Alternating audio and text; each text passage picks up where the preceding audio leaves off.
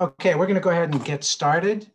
Uh, I am Jeff Martin. I'm the Director of Communications and Public Affairs at the American Anthropological Association. I am an older white male, uh, as can be attested by my graying brown hair. Uh, I am wearing black framed glasses and uh, I am wearing a light blue collared uh, shirt. And I'm reporting to you uh, from the confines of my bedroom, since we're still, still in the throes of this uh, pandemic, but we're seeing light at the end of the tunnel. Welcome to User Experience Jobs from the Inside Out. This is the second part. Uh, this is the second of an eight part Pathways to Careers webinar series brought to you by the AAA.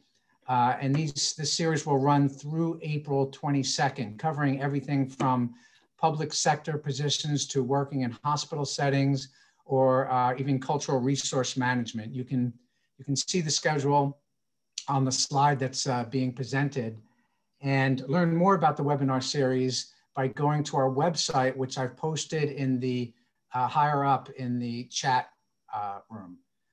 All these career uh, webinars will be held on Thursdays at 1 p.m. Eastern uh, daylight. I'm going to go ahead and say daylight time. Uh, we turn to daylight this uh, weekend. So 1 p.m. on Thursdays, Eastern uh, daylight time. Back to this webinar. To make it more accessible to everyone, we're providing closed captioning. And to get closed captioning, what you need to do is move your cursor down to the bottom portion of your screen, of your Zoom screen, and you will see the icon, uh, closed captioning icon. Click on that and you'll receive closed captioning. If you would like to ask uh, your question verbally or hop on video, please use the raise hand feature. Again, this can be found in the reactions icon that's also at the bottom of your screen. Uh, if you have any access needs, please direct them to Nell. She's our uh, accessibilities coordinator and she is listed as such in the uh, chat feature. Uh, also a reminder to please turn off your video and microphones unless speaking as this will help increase our bandwidth. If you have any questions, again, let's use the chat room icon and uh, put the word question. It helps us uh, filter out um, the conversations from the actual questions. So put question and then ask your question there. And uh, we will take a look at it um, as soon as we can. Uh, we want to make this as interactive as possible. So the panelists have agreed that uh, we'll have a Q&A uh, section at the end. However, to make it more conversational, if you have a question, post it in the chat right away. We'll be monitoring and um, we'll actually stop and say, oh, wait, there's a question. Someone didn't understand what you just said and, and we'll clarify. So we're gonna make this, as I said, as uh, interactive as possible. Go ahead and put your questions in the chat there. Um, okay, without any further ado, I am now going to introduce Elizabeth Briody. Hi, everyone. I'm Elizabeth Briody. I'm a white woman with brown eyeglasses and short hair. And today I am wearing a blue top. I'm in my alcove, a little space in my home with a window. So I'm really excited that you are all here. We think we have a great uh, set of presenters for you on user experience, and we hope you get a lot out of it. Just to build on what Jeff said, any questions that you have, put them in the chat, and any one of you attending can feel free to try to answer those questions if you have something to say about them. So don't be shy. After this webinar is over, you will receive through your email uh, an evaluation and we hope that you will complete it and send it back to us so that we can improve on these webinars as time goes by. And then one other note, uh, I'd like to just take a moment to thank the staff of the AAA for all they are doing to put on these webinars. It does take a lot of effort on their parts, so Jeff, uh, Scott, Nell, and Gabby especially, thank you so much. Next slide. So today our um, webinar is called User Experience Jobs from the Inside Out. Next slide. And we have two speakers. Our first speaker will be Rachel Fleming from Aetna, which is a CVS health company. And our second speaker will be Lisanne Norman from Gusto Inc. Next slide. Take it away, Rachel. All right, thank you so much.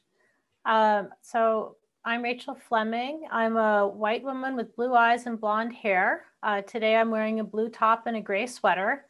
And I'm here in my home office with a picture of a landscape and a bookshelf with a few books behind me. Next slide. Uh, I wanted to say thank you for the AAA for inviting us and for holding this. I think that's a great thing. Uh, I am an anthropologist. I have a PhD um, from the University of Colorado Boulder that I got in uh, 2016. And I have been working as a user experience researcher for the past three plus years now. Uh, currently, I'm a senior user experience researcher for Aetna Health, which is a health insurance company that's part of CVS Health. Um, my team is currently redesigning an online experience uh, for older folks to shop for and enroll in Medicare plans. So that's exciting. Uh, I get to interview Medicare members and test design prototypes to make sure that uh, elderly people can find a plan that is best for them. Uh, and so I work with lots of different people in that role uh, primarily designers. We're also, you know, working in an agile software development environment, which means that we have lots of teams trying to build a software product together. And that can be challenging and exciting all at once. So I can get more into that as we move on. Uh, next slide. I see a question, do any of the designers that I work with have training in anthropology? I do not believe so, but they are research minded, meaning they are very attuned to how people are using software and are very interested in user research techniques. So I um, have been mentoring them in using various uh, user testing platforms, and a lot of them are able to kind of take it on their own and have ideas of what they want to test, and I help them with the design. But I don't know if any of them have anthropology backgrounds in particular, although that's not out of the ordinary. So what is user experience, also referred to as UX research? Uh, I want to take a step back and say anthropologists have been involved in the business world for a very long time. Um, they have, uh, it's been called business anthropology, it's been called corporate ethnography. Elizabeth knows this very well, um, having worked in this field for a very long time. And uh, I think just recently, in the past few years, it's come to be associated more with software and technology and user experience research but it's by no means um, uh, the, you know, UX research does not encompass everything that anthropologists do in industry. Uh, so I'll just um, try to define UX research briefly, and this is kind of the definition that I used in an article I wrote for American Ethnologist last year, and I sort of cobbled together from what, what I think. Other people might have other views, what, what it is. Uh, so UX research is a process of conducting research with people, that is key.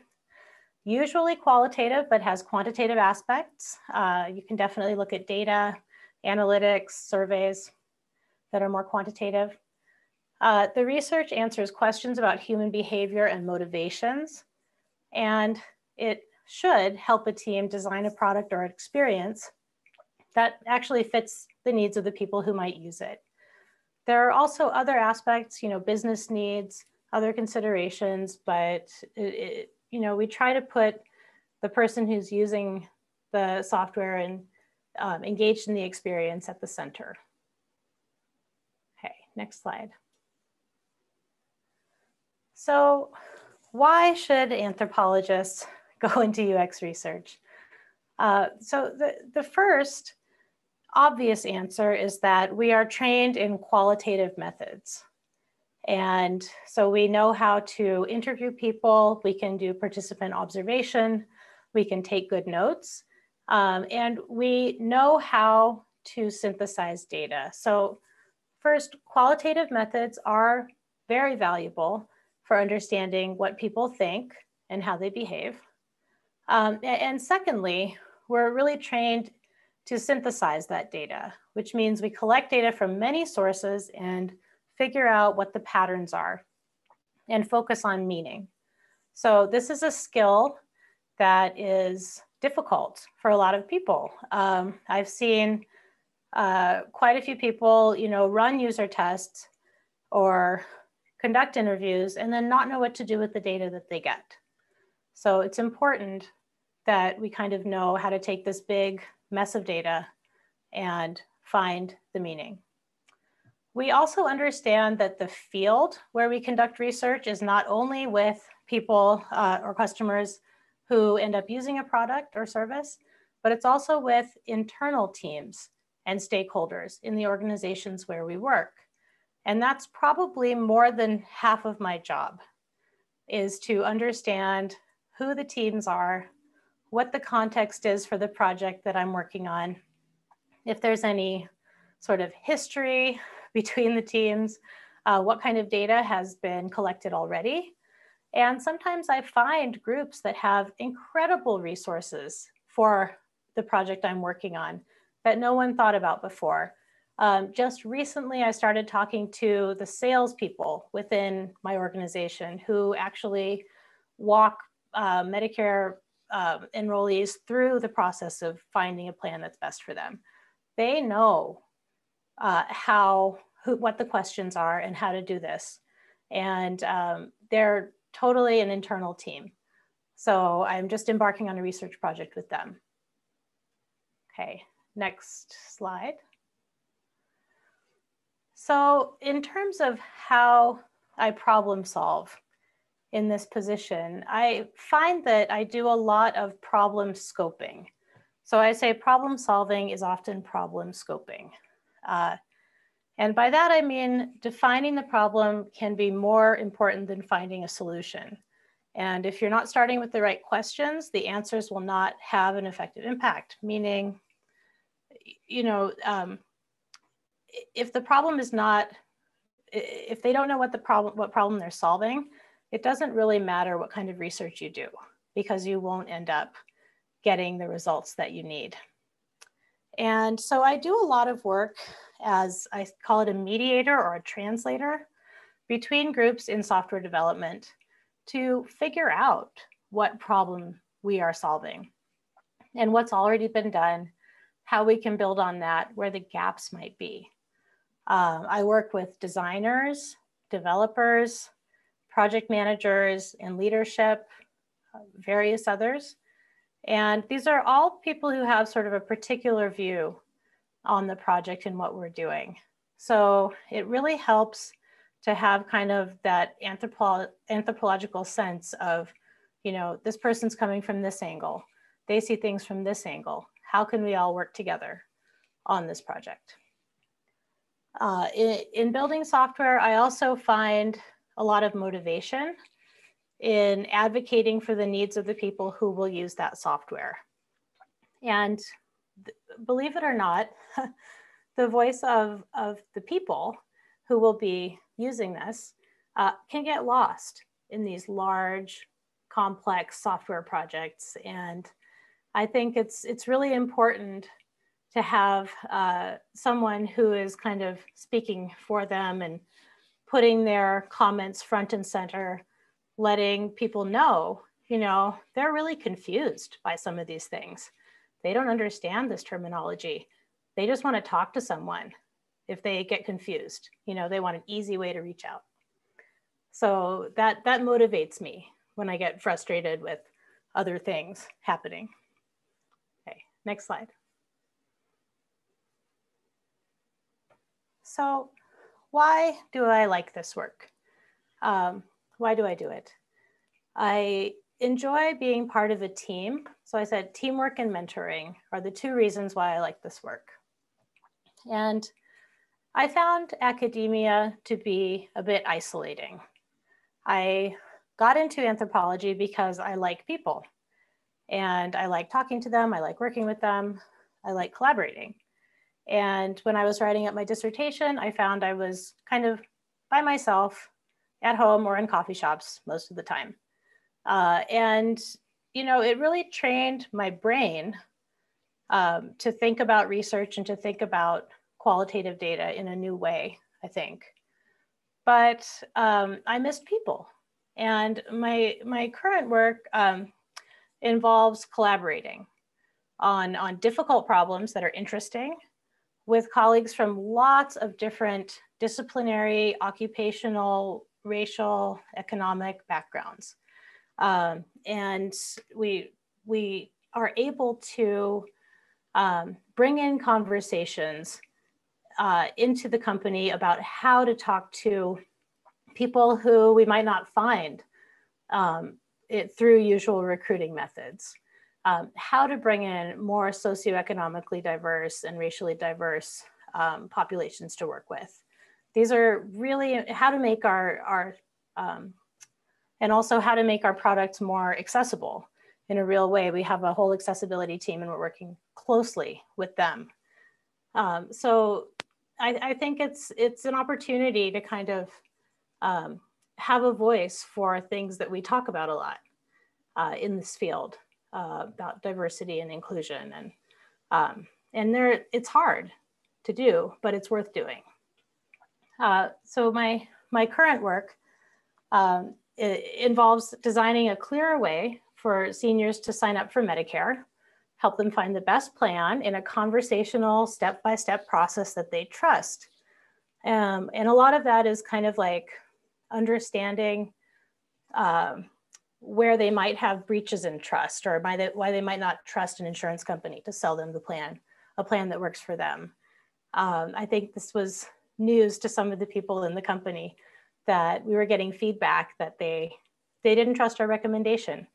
And so there's there's a way of kind of building trust with people to say, okay, this is why this one is going to work best for you and ultimately cost you the least amount of money in the long run. Um, and, and we're, we're, you know, going to take care of you. Um, so it, it's a complex thing, it's hard, uh, but ultimately they need that care and they need that, that hand holding. Um, I, I do like designing an experience that will work for everyone who might use it. This includes people with differing abilities and differing access to or comfort with technology. So you can imagine a lot of the older people I work with um, aren't as comfortable with technology as some others are. Uh, and so I think um, in the last year, they've become much more comfortable because of telehealth. They use their phones a lot. They're FaceTiming with their grandkids. You know, they, they understand kind of mobile interactions. And we should be designing experiences that are kind of in keeping with those expectations that they have. Uh, and I also enjoy mentoring people and helping people build careers. Uh, I feel very strongly that um, you have a right to a career that sustains you, um, both intellectually and financially. And I think academia is in a position right now where it's not necessarily set up to do that. So this kind of career can actually be um, a plan A, uh, not something that you do because something else didn't work out, but something you choose to do. And in fact, I did. Um, and I enjoy it. And um, I, I think this is a better fit for me than other careers might have been. So I feel quite lucky that way. Uh, I'm also very grateful to many of the people who've mentored me along the way, who've kind of taken the time to talk to me about their experiences in the field, including Lisanne. Uh, I talked to her when I was kind of just getting started. And um, I think that's important to kind of see that there are other people who've done this path before and that it's worked out and it's possible. So with that, I will pass it over to Lisanne. Thank you, Rachel. Next slide, please. Um, so I'm Lisanne Norman, a Black woman with brown tortoiseshell, slightly cat-shaped glasses and long dark brown hair worn in a style known as locks. Today, I'm wearing a white top. I'm in my office space at home with a whiteboard full of sticky notes behind me. Um, and I want to say I'm really grateful for the opportunity that the AAA like allowed for Rachel and I to come here today and talk to you all, um, you know, about opportunities and industries outside of academia. Um, I have a slightly different story than Rachel, but I, I love the fact that I wish I had known beforehand that this industry even existed, right? Before I graduated um, with my PhD. Next slide, please. I'll give you all a little um, background. Um, I graduated with a PhD in African and African American Studies and Social Anthropology uh, from Harvard in 2015. Um, currently, right now, I'm a user experience uh, research and head of research at Gusto Inc. Uh, Gusto Inc. is a human resources information system for small and medium businesses. And when I say that, I mean size uh, companies that have employees like one to 10 employees. That's really um, the place where we, that's our sweet spot. Um, my team, and I think as Rachel's mentioned, right, we serve as the voice of the customer, right, like the user. And our job is to help product teams. And usually these are comprised of designers, engineers, and product managers um, you know, help them to understand and empathize with the user's need. You know, what what do they really need to be able to, you know, use our platform successfully and have a seamless experience and be able to help them grow um, their business as they're doing it. Um, so I'll tell you all a little how I came to user experience. I graduated and thought that, uh, you know, from Harvard 2015, and I thought I would end up sort of teaching for a bit at UT Austin. Um, I got here to Austin, Texas, where I'm based, and sort of found out that that wasn't a possibility. Um, and then a friend of mine, another anthropologist, actually a friend that Rachel and I have in common, mentioned to me, she's like, you know, tech companies, uh, you know, they actually value having an anthropologist, like being a part of the team because you know how to talk to people. You know how to sort of you know you know how to synthesize data. You know you know you have you you approach things with this you know an empathetic gaze. Um, and i sort of was like okay i'll go sort of looking around. Um, and i was really fortunate that i found a great research company here in austin uh, and they were like yes you have these skills. Please come and help us with this project. Um, and i began this journey and i was really happy to be invited and really sort of stoked that AAA was holding these webinars because I think that there needs to be more conversation around the fact that there are other options, right? Like based on the skill set, there's so many different industries that we can sort of apply our knowledge, our skills. Um, so this is, you know, this was a great opportunity and I love that we're doing this. Next slide, please.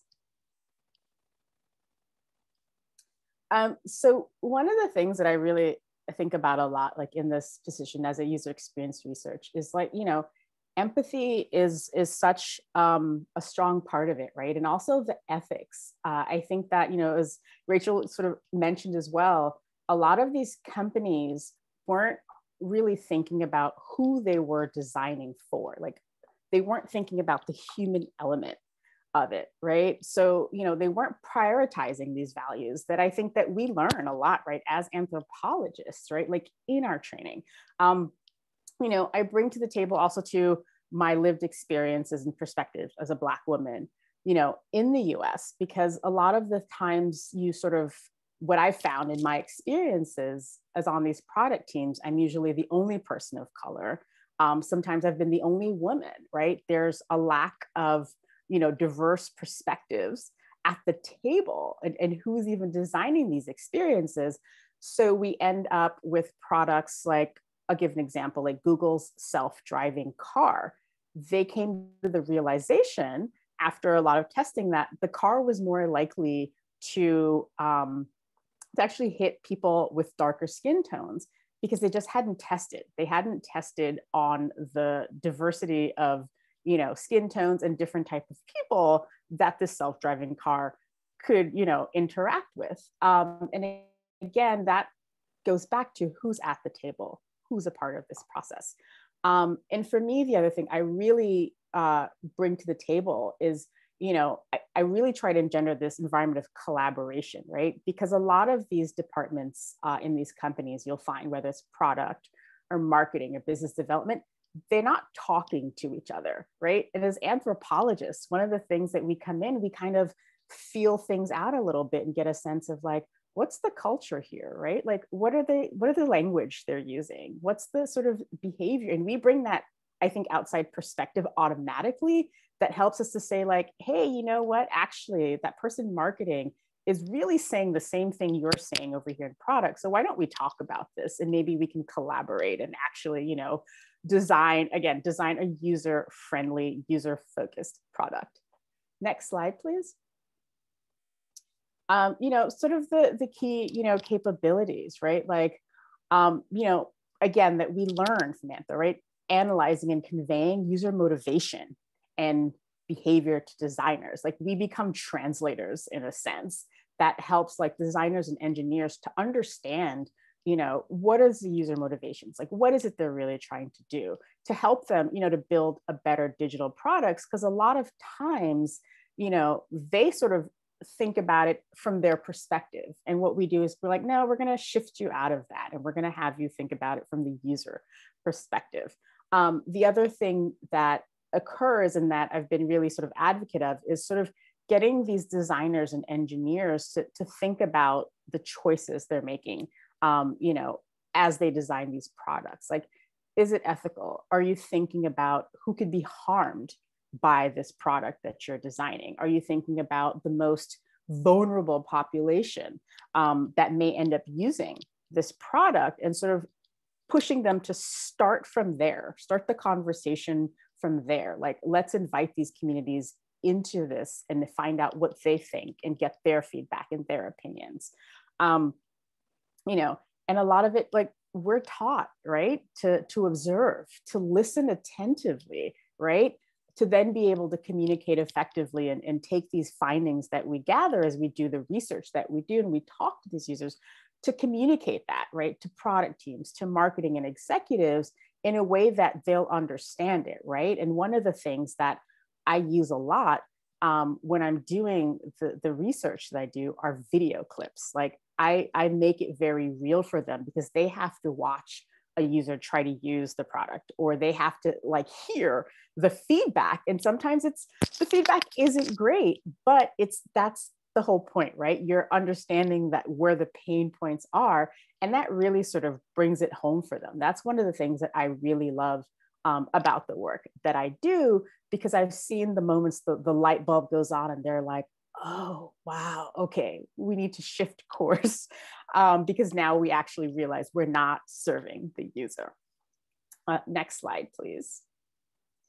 Um, you know, like the contribution that I think that, you know, we bring is, is about improvement. Um, you know, uh, again, I, I've really been an advocate and I'm glad that recently there have been so many conversations in, you know, in tech period about how do we mitigate bias? How do we really actually think about you know the fact that we are in we're creating for a diverse world. How do we make inclusive products right? So one of the things i do is i lead teams through um, workshops and, and with exercises that force them to think about oh i actually do have this bias. You know like oh i might actually be bringing that in when i'm designing this product. How do i how do i get rid of that right? Like how do i how do i shift that now that i'm aware? Um, you know, we're also trying to build experiences that are not disruptive, right? We're everything, I think that there's always this intention that the product that we're creating or the process is going to enhance people's lives. And what we need to do is to make sure that that's true. Just because we think that in our head, like, oh, this is a great new thing, doesn't mean that it couldn't cause disruption. So figuring out as best as we can, how do we make this a seamless experience? Um, working with cross-functional teams, you know, I, I, think is one of the things that I, I do love the most about it um, is hearing those different perspectives and then sort of reminding everyone like, hey, you know what, like our common goal is serving our customers. Is this new feature or this new, you know, great new like add-on, is this going to enhance their lives? Is it going to serve the customer or do we just think that it looks good or like, you know, but the reality is it's got to be functional. Um, and the thing again i've been you know sort of pushing the these teams to think about who's at the table. Do we have folks who come from different backgrounds who have experience in other industries even right? Who look differently think differently and also to like you know like really pushing that like i think rachel mentioned like accessibility right? Like are we thinking about that? Do we have anyone on the team um, you know that has accessibility challenges that's going to actually give us a different perspective. Um, and it, so this is these are the conversations i think that are having in this field. Um, and i think it's it's great right? Like we're pushing things forward but of course there is a lot of work to do. Next slide please so if you're thinking about ux and i think that you know it is it's it's a great field i think as both rachel and i have sort of found this kind of calling where we're you know still talking to users like sort of getting their perspective helping companies to sort of to understand and to, to shift their perspective um, and to understand like this is how users think about it and interact with this product right? This is the language they actually use. Um, and i think as anthropologists we have those research skills play them up right? Like that's sort of that's a big thing. Like what that's what i did. As i was sort of coming into this field i was sort of like you know what? I know how to talk to people. I know how to analyze data. Um, you know I, I take my time and sort of get a feel of the lay of the land which i think is something that's so important um, in this position. My advice would be um, for those of you who, you know, if you're not in a position to, a lot of people go to a boot camp, right, where they take um, courses uh, that sort of help them in this. But if you don't have access to that, because it does cost, then one of the things I really suggest is, you know, like partnering with a local nonprofit, right? And sort of seeing like, do they, are they, do they have questions that research questions that they're trying to understand about the community that they're serving and you can help them with that and then sort of be able to show like hey you know i've you know i did this research and it helped this community have this impact that improved the experience in this way. Um, the other thing is that a lot of um, large companies or even not like my startup at gusto they offer internships right? So that's another opportunity to be able to get like real hands-on experience because in a lot of these internships you can work on projects that actually like will you know end up in the product and you can say that you worked on that feature. Um, the other thing i advise is definitely create a linkedin profile. Like that is really the sort of tool that people are using to network companies are looking to find people and reach out to people. Look into the you know like look at your alma mater like and and look for people who who do this who are user experience researchers and reach out. I literally try my best to make time to speak to everyone who reaches out to me. Like even if it's 30 minutes to give you sort of some insight and some assistance we love that. Like reach out to us. Um, you know think about a company you might like. Find if they have user experience. Reach out to that person. You just you never know. I've met so many people and found mentors through doing something like that the other thing I recommend is joining a UX professional society. Like there's talks and webinars. Um, Noam Segal, he does uh, UX Quests where he has conversations with folks in different aspects of UX. Um, there's an organization, UXPA, the UX Experience, UX Experience Professional Association, um, and they post a lot of resources and links. Um, and then there's also a user experience LinkedIn group. Join there again and reach out to people. Like this is, it's really, you, you're going to tend to find people who are going to be willing to talk to you because they like to talk to people and help them. Um, so that is my advice. And I'd look forward to any questions you guys have. I see a question now. What's the difference between a product manager and a UX researcher? Uh, so a product manager, good question, is sort of um, responsible for the overall product, right? Like they have to, it's their sort their job to, um, you know, be like, okay, this is this the product they're working on, new feature track like the work that's going on like who's going to do it whereas me as a ux researcher i might be they have to look at the overall entire arch of the of this product where i get to focus on the discovery piece of it like the initial sort of finding out what are the questions that we need to ask? What are the what is the goal that we want these users to have? Um, and so i sort of go out and find that information and then i sort of come back share those insights with the designer and engineer and then you know the next phase of it moves on and i'm not as involved with that part whereas the product manager is keeping track of all of that and there's a lot of questions coming through i'm not so many good track. ones yes um, so i i can address the one about the anthro ba versus ma versus phd i think briefly that the PhD can be a liability when you're first getting started. People think you're overqualified and whatnot. After a little bit of experience, people are so excited about it. So I think you don't need a PhD to do this by any means. Um, lots of master's degree people are doing great, um, and BA, you know, at, from lots of different fields. Um, and user experience has people from all sorts of different disciplines. Um, but I, I do think if you have a PhD, you are considered for different kinds of jobs after you have some experience. Um, question about how I broke in. It was a long haul. It was a little dicey for a while, to be honest. Uh, I, I was um, living off my partner's earnings. I had student loans. I had two babies and uh, was trying out a new career. It was tough.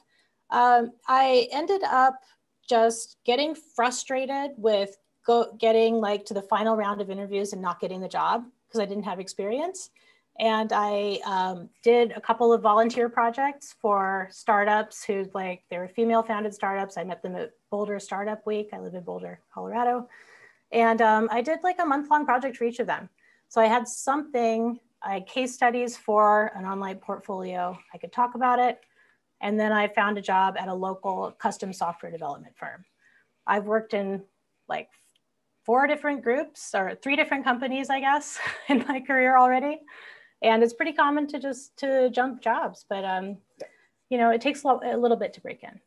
Yeah, I agreed. I just yeah, it does take a little bit to break in, but once you're able to, they see the value immediately. Um, and I do think that that anthro degree sort of gives you a little bit of a, a, a leg up. Um, I think I see a next question about uh, presentation. Yes. Oh, let me just jump in for a second. This of is course, yes. Um, and say that we do have a lot of questions. We probably won't be able to answer them verbally uh, during the time allocated for this uh, session. We will get to as many as possible, but all the questions will have written answers by multiple people, and those will be posted on communities um, on the AAA website. So just uh, sit back and relax. We will get to your questions uh, uh, eventually. Thank you, Elizabeth. Thank you. It's I'm I'm Lisanne speaking again. Um, I will. I'm going to answer this question about the shifting presentation, uh, visualization of your research findings to highlight impact. Yes, that is definitely something that I had to do, and I will say um, coming from academia, one of the things I learned was make it short and sweet. When I first did my first uh, presentation, it was full of lots of words. And they were like, Lisanne, this is great if you were writing a journal article. However, you're presenting to share stakeholders, executives, product managers. Keep it short and sweet and rely on visuals, right? Use visuals to tell your story um, use highlights of you know video clips and quotes from you directly from your users um, start with a top line so they know off the bat these were my key findings up front because you know later you'll you sort of explain that and then you have an addendum at the end but they may not make it that far and so you know at least in those first five to six slides they have the takeaway. So I would say that for me, yeah. I love the leveled approach. You know, you have like the one slide executive summary for people who want that. You have like three slides for more detailed findings, longer slides and appendices, and then links yes. out. yes. so it's kind of a choose your own adventure. Yes. Um, I see this next question. Uh, quantitative research skills you think would be strategic to learn and to complement qual training. I learned on the job how to do surveys. I will say that is the one thing, if you can have time, uh, if you could take a survey like course or something like that, I would do that. I think for me, my personal experience as anthropologists, we weren't encouraged at all to learn any sort of qual skills. And the one anthro person I know that did, um, you know, was raved about it. And I wish that I'd done it. But I would say that learn how to do a survey, understand, you know, sort of how to put one together, how to ask questions. That would be my advice. Yeah, I think survey design and maybe even some statistics, just so you know what it is, kind of how to do it. Um, maybe learn a little bit also if you think you might go into software about what is software development, how does it work, what is agile, what are these terms that people use. Um, I do see a question about different industries being interested and um, tech dominates right now because that's just where a lot of money is and a lot of um, uh, kind of movement is. But UX researchers and, and anthropologists are useful in kind of a broader service design um, uh, idea. So it's not just digital things, it's like a whole experience that someone is having. So hotels, airlines, um, restaurants, you know, uh, physical spaces, all those things um, are, are, definitely open to it. And there are a lot of consulting practices. Often uh, it goes under design consulting and I, I, worked for a design consultancy before this job. Uh, and that's sort of they're high you know they're hired to come in by a big company to help with their sort of whole service experience or experience design. And that goes beyond tech um. I noticed there was a suggestion, this is Elizabeth, I noticed there was a suggestion in the chat for a book that people might want to get a hold of. Um, ah. A book apart is the name of the book. and there's a, a URL there. Oh, that, yeah, that's a great suggestion. Definitely, yes. Um, what else are you saying? Can you give an example of a workshop you led? Um, so an example of a, a, workshop that I led is um, so when really where we sort of started off and had all the stakeholders in the room, right? So the part of the business that wanted this research, the designers and the engineers. And one of the things that, you know, sort of got everybody together, you go through some, you know, icebreakers to get people a little comfortable. Um, and then we started sort of, um, we started with images and just asked people to sort of like write your thoughts, like based on this image that you see here, right? And we had like different images, like we had like, you know, racial group, gender, disability, like everything you can possibly imagine, just to sort of start to get immediate. And you had like, you had to quickly write it down, right? So you're doing like kind of like an implicit bias test, but, you know, with these visual cues. And then we went through and, and sort of looked at that. Um, and then we asked them, okay, now describe who you think your users are. Um, and had them sort of go through that and then actually sort of showed them data that they were completely wrong about their users and the reasons they thought because it was again based on what they think um, so again just these sort of ways to get them to sort of confront um, you know their bias and, and, their level of, of awareness um, was one of the ways um, in which we do that and then sort of taking that then sort of mapping out okay now that you know these are really your users how do you think we should go about reaching out to them? And, and having them be part of that process and that that thought process. Um, and it, it we turned out you know sort of then designing like a, a really inclusive accessible product in a way that we wouldn't have before. Um, so that's yeah that's one example. Yeah, I think we, uh, this is Rachel. uh, my team, my research team just watched a video from the latest UXPA conference called We Need to Talk About Race. And um, there's another one on inclusion that we'll watch next week. And so we've kind of opened the conversation to how can we change our recruiting practices yeah. so that we are getting a diverse, truly diverse group of people. And so we've got like, you know, a task force and we're actually going to do it, which is really great. And it's not just, you know, we're trying to actually hire someone to help us with that. So it, it's important to have this not just be volunteer um, stuff, but have someone who's actually paid, who's it's their job. Uh, so I think I think companies are very interested. Um, I think they need to put resources to making it happen. Yeah. Uh, I, I, saw a question about boot camps and postgraduate degrees in user experience. And I, I have my two cents on boot camps. They tend to be design focused. And so if you want to be a designer, they can be quite useful. I've found them to be pretty successful for people who already have a strong research background or are coming from a, a graphic background like architecture. Uh, I, I have found that they can be less successful for people without that background. And they're a lot of money. I think for UX research in particular, you can find more targeted classes that teach you kind of the deliverables that you might be expected to produce and some techniques. What you really need is some real world experience. If you can do a postgraduate degree and get that experience, fantastic.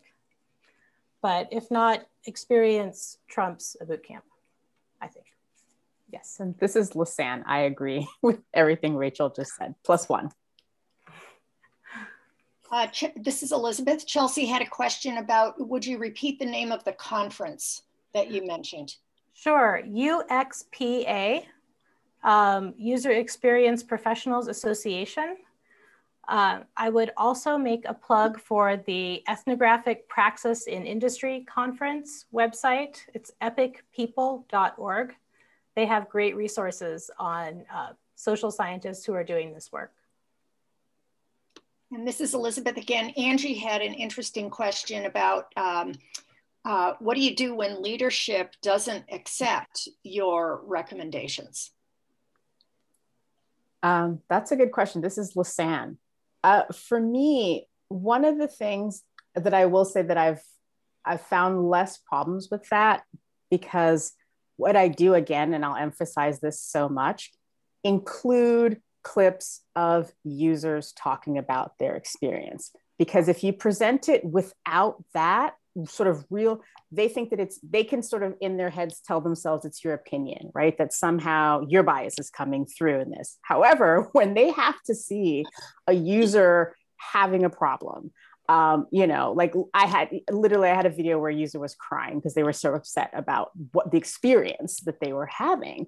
Um, that this sort of brings it home and sort of removes that problem because they know that it's not you this is their user and and you remind them you're like hey you know we say we're a user centric company then this is what our users are telling us we have to listen. Yeah and and um, another uh, this is rachel another technique is to bring leadership into the research process with you yep. and actually have them do things so, like, take notes in an interview or help you um, kind of affinity map uh, data that you have. And, and if you can get them to do things like that or, or, or design a workshop to help them work with, work with the data, they get more into it and they get kind of invested. And um, it, it, if you can't do that, video is wonderful always because it makes it real to them. These are actual real people. Uh, but yeah, just getting buy-in is important from the beginning. When you give a readout or share out or whatever, it shouldn't be surprising. Yeah. This is Elizabeth again. Um, Yusan, hi Yusan. Um, uh, she has a question. What are some of the deliverables and techniques you recommend to learn to be a successful UX researcher job candidate? I think there there there are a few. I mean, there's there's there's qualitative uh, methodology and, and then more quant. Um, qualitative usually falls in kind of generative work, which is like figuring out the current experience. So that might be conducting user interviews, um, uh, perhaps group sessions, stakeholder interviews, and um, creating, I, I've often created a journey map for that is the deliverable. Um, then evaluative techniques and surveys can also fall into generative, of course. And then uh, evaluative techniques can be more testing what might be a design prototype. So something that a designer has put up like a mock-up of a screen and seeing how that tests with users. Doing a concept assessment, um, which is a little less um, tactical. Uh, let's see. And hmm. creating, I mean, there, I've used journey maps a lot. I have never really used an empathy map, but that is a deliverable that's out there that is also a service design map i've used a lot right. of that also yeah. to sort of uh, uh, something that takes that journey map from the user experience the user centric focus but then also on the back end what is what's happening in the company and sort of mm-hmm. being able to combine that and show that visual to folks particularly when you're in a company that's siloed where mm-hmm. like one set of individuals responsible for one part of the experience really have no clue what happens after that part of the experience ends for the user and even on their side. Um, that's been a, a, great deliverable. That's been like an aha moment um, for folks. Um, an experience roadmap is another way of putting it. And, and you can put these terms kind of into your search engine yeah. and find examples. Uh, I use personas sometimes. Um, and, and, a persona is kind of like, or an archetype yep. is kind of like a, how does your, the groups, uh, the people that you're interested in, do they fall into meaningful groups of some kind? And um, for my current position, that's like, how engaged in health are they? Um, how, uh, and, and how many health issues might they have? And sort of like behavioral characteristics so that that can be useful and it can help uh, a team to kind of think about okay this needs to work for people who are super engaged as well as people who would rather not think about it uh, this is elizabeth again uh, alejandro had a question for both of you about how the research methods that you normally use have changed during the covid era that's a great question. So this is Lisanne. Um, the answer. So one of the things that I was doing a lot of actually was um, what we call contextual int- or like what we all know as participant observation. Right? We do do that as well. So that's changed dramatically, right? Like we can't go and observe people in their environment using our product or you know or doing what it is that we're uh, looking to understand. Um, so that's changed a lot. Um, I think even doing uh, usability testing, right? Like having to now do that remotely, like we're doing interviews, you know, using Zoom more um, and figuring out ways to, especially when we're doing mobile testing, that's still actually a challenge that we're finding is how to do usability testing for a mobile phone or mobile app, um, coming up with creative ways uh, to ask users to you know help us to to execute on that um, so that's been a big change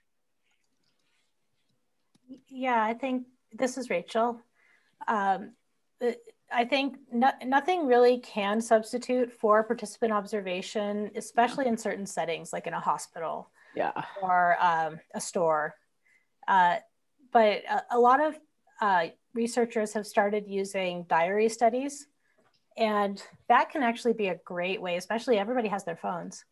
They take little video clips of themselves and answer things kind of in the moment. And that can be a great kind of window into what they're thinking at a particular time um, in a way that feels maybe a little less intrusive. This is Lisanne, and I'm sorry, just one other thing that occurred to me is the other thing we started using was um, micro surveys. So within the experience, we just pop up one question as they've just done something to get quick feedback from as well. I, I see Elizabeth's question, this is Rachel, about growing your career in UX. And can you become SMEs or contribute? Oh, yes. I, I think um, uh, early on in your career, uh, unless you are quite specialized as an anthropologist and go straight into that specialty like healthcare or something, uh, you may become a UX research generalist for a while and then eventually, and then you start to specialize sometimes. So some people do specialize in certain fields. Um, artificial intelligence is a particular area mm. where a lot of anthropologists are finding um, traction because, uh, and especially artificial intelligence and ethics. Yeah. Um, because they're realizing, oh, anthropologists kind of understand the larger ramifications of of a technology perhaps and can help guide us. This is Elizabeth. I'm sorry, folks, but we are going to have to wind down. Um, let's just finish up with a, a, a summary slide here. Um, next slide. So we have six key takeaway points that we hope will be useful to you as you contemplate whether this kind of career would be useful to you. First, of course, um, UX jobs build on the skills that uh, you learn in school as an anthropologist. Um, as a key point that Rachel talked about was how important project problem scoping is, uh, and as important as problem solving. Uh, a third key point that UX work can help expand access to digital resources uh, specifically in getting seniors uh, to apply for Medicare online. Four, have to be aware of ethics. Five, critical to collaborate. Six, uh, anthropologists really can be useful in helping mitigate bias in design. Next slide. So um, you will be receiving an evaluation. Please fill it out. Everything will be posted on communities and register for our upcoming webinars. Next slide. Our next one is next week, same time, same place, virtually, anthropologists working in hospital settings. And we hope you'll enjoy that. Next slide. That's it. Thank you so much for your time and attention. And uh, we look forward to seeing you at another AAA career webinar. Thank you, everybody. Thanks, everyone. Bye. Bye.